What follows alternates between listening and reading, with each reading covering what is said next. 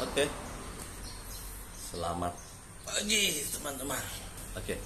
Hari ini kita membahas tentang beberapa kebiasaan yang jelek yang biasanya dilakukan oleh mungkin kita, tapi yang saya perhatikan di sini anak-anak kita.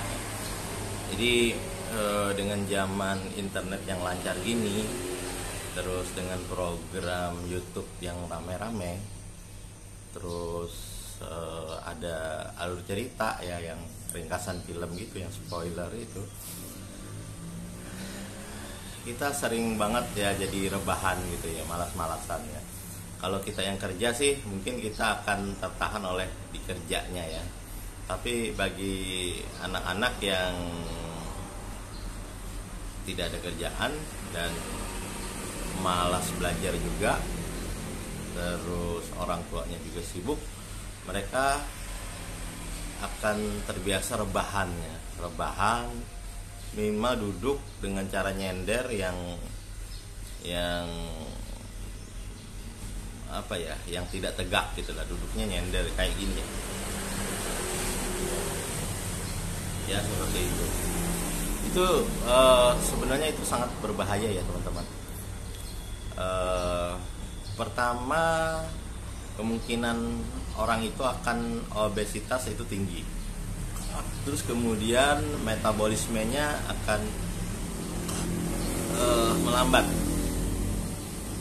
Terus badannya kayak kalau istilah orang sini sih rengkot gitu ya kayak gimana ya nggak enak ya nggak segar. Maunya eh, baring aja terus tapi bosen gitu loh terus biasanya kalau sudah akut itu dia akan ada geja sedikit gejala depresi eh, dan pokoknya hari-harinya tuh berlalu dengan tidak nyaman gitu sangat tidak nyaman.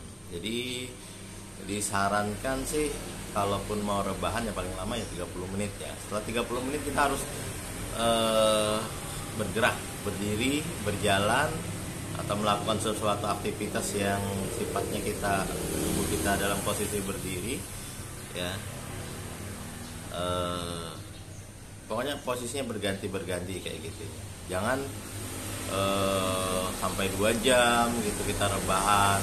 Kan sekarang lagi tren tuh generasi rebahan posisi enak mager gitu apalagi sambil ngemil waduh. Tapi percayalah itu tidak baik untuk badan dan untuk pikiran ya. Nah yang kita lakukan itu adalah sebuah kesia-siaan apalagi kita udah gitu kan kayak ini main game juga kan main game posisinya berbahan. Atau kalaupun duduk duduknya nyender kayak orang nggak punya tenaga gitu nyender.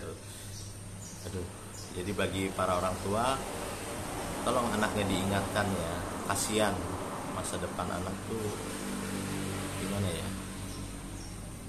Eh, bukan berarti dia tidak akan berhasil tidak. Cuman dengan kebiasaan yang seperti itu ya anda bisa memikirkan